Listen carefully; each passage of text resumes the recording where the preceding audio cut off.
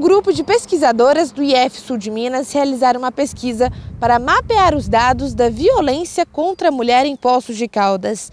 A ideia da pesquisa surgiu devido aos casos de agressões e para ver uma unificação dos números. A ideia desse mapeamento surgiu com um número super alto de violência que as mulheres vêm sofrendo no Brasil e principalmente no sul de Minas Gerais. Né? Muitos casos têm ocorrido de violência, de morte. Aqui no, no, município a gente tem vários órgãos que recebem as notificações.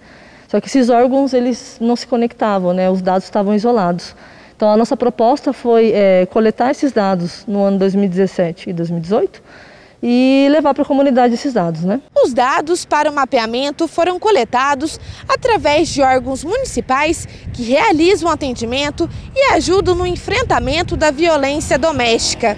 Com os resultados obtidos, é possível afirmar que houve aumento no número de registros de 2017 para 2018. Em 2017, né, pelos dados da Polícia Militar, por exemplo, a gente teve 1.464 denúncias e em 2018 subiu para 1.520.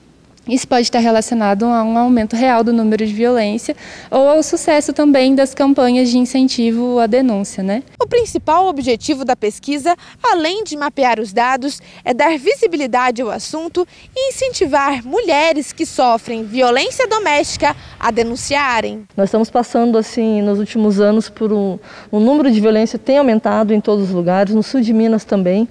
A ideia é trazer visibilidade para o tema da violência da mulher, para que a gente consiga incentivar também que as mulheres denunciem. Além da condição de gênero, a pesquisa apontou que 46,5% das mulheres que se identificaram como negras e pardas foram mais violentadas. A gente tem é uma questão racial que é importante de ser levada em conta, né? Então, quando a gente fala de violência contra as mulheres, é sempre importante a gente também ter em mente, além da questão de gênero, como que as questões é, de raça e de classe social também a, implicam e afetam a vida dessas mulheres, né? Os números apontaram também as regiões da cidade no qual as mulheres mais sofreram violência são as zonas sul, leste e área central, na maioria das vezes pelos namorados e companheiros dentro de casa. Namorado, ex-namorado, cônjuge ou ex-cônjuge, foi, foi assim a maior parte.